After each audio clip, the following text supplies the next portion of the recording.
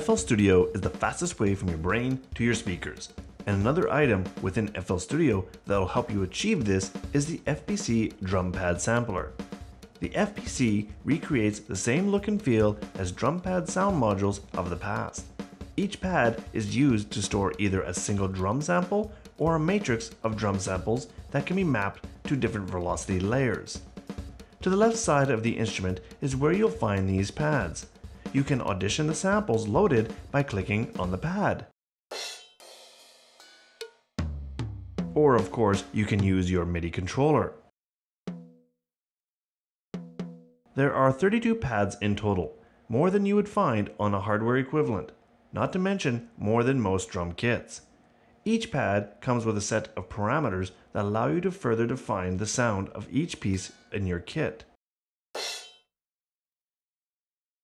You can give each pad a custom name, making it easy to select from the pad menus.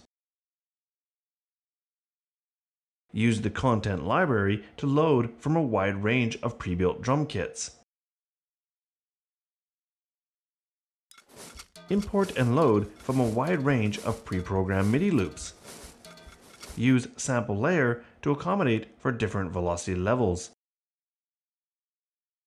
Use the envelope editor to control the level and panning of your samples over time.